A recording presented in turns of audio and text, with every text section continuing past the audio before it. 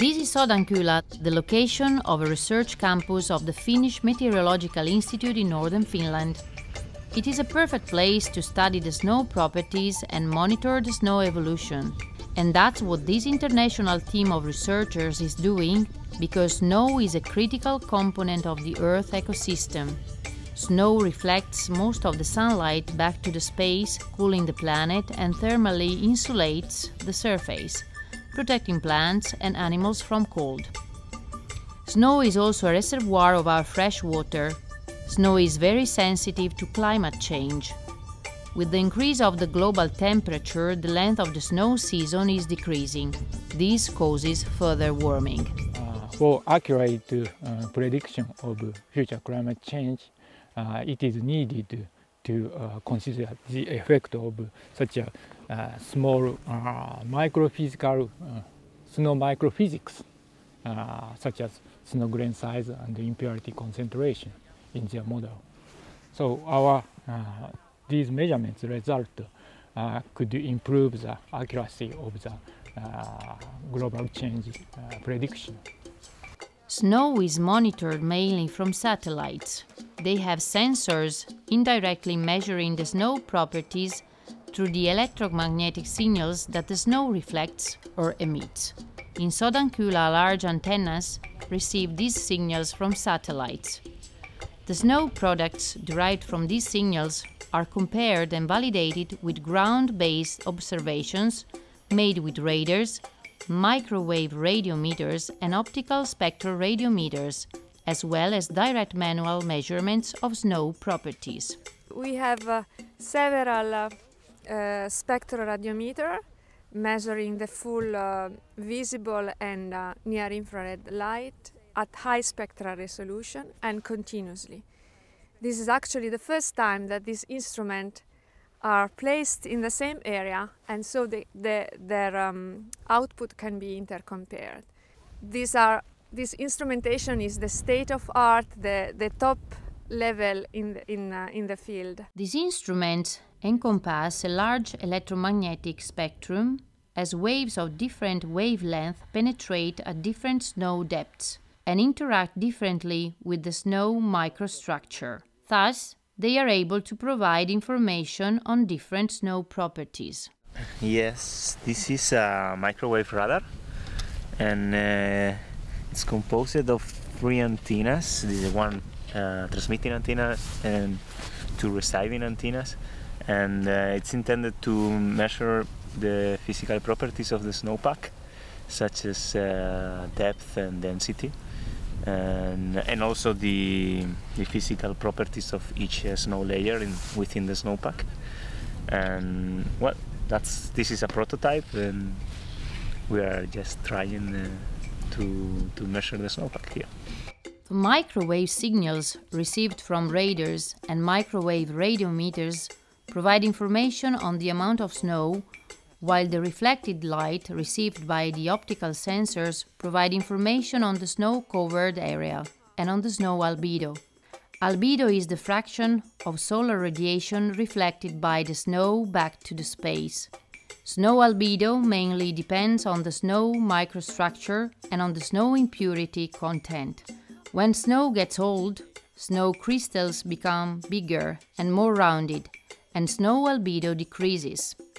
Also impurities such as dust and black carbon originated from the fossil combustion cause the decrease of snow albedo.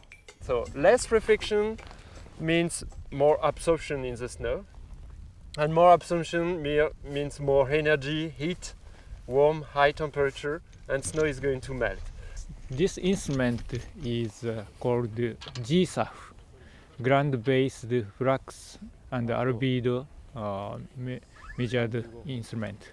Uh, this instrument measures downward ra solar radiation and uh, upward solar radiation and diffuse component. from these data, we can calculate the albedo at selected wavelength channels uh, in the visible and near infrared region. Uh, with these data, uh, we can retrieve the snow grain size and impurity concentrations. that is very important for the albedo. This is Finnish Geodetic Institute Field Goniospectrometer FICI FICO. This instrument measures how much light is scattered in each direction. Snow does not reflect the visible light uniformly in all directions. More light is reflected in the direction of the sun. The anisotropy of the reflected light depends on solar elevation, wavelength, and surface roughness.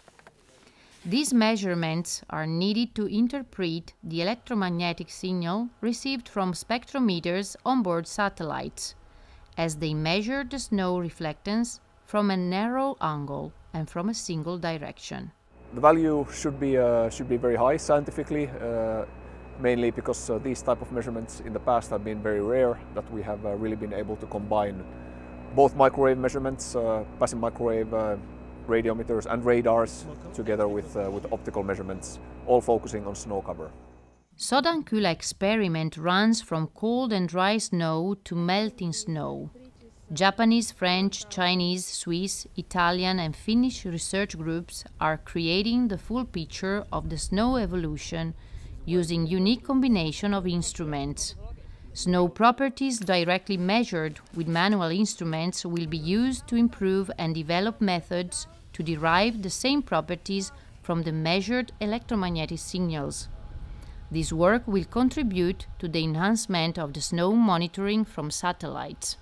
What I am trying to do here is to uh, take macro photographs of, of the snow grains. Uh, the aim here is to analyze the size distribution of the snow grains. Uh, in practice, in this weather condition, we have, when we are only slightly below zero, we have the problem that the snow grains uh, tend to melt almost faster than we can manage to do the job. So it's not quite easy at the moment. The snowpack is formed by several snow layers having different density and microstructure characteristics. Here, a complete series of snow properties is manually collected from the surface to the bottom of the snowpack once or twice a day. The different layers are identified and profiles of snow density, temperature, and specific surface area are collected. Um, it's a piezoelectric sensor, so it changes the pressure forces to an electric current, um, which is really, really sensitive, so you can really see the different grains in the snow. And then that signal is amplified, and you can use that to measure densities of the snow, specific surface area of the snow grains, um, yeah, there's quite a lot of different parameters you can get from the resistance. You can see it's it's incredibly perfect. The leveling is 0.06 or 7 degrees in one direction and 0.05 degrees in the other one. So it's absolutely, uh, it cannot be better.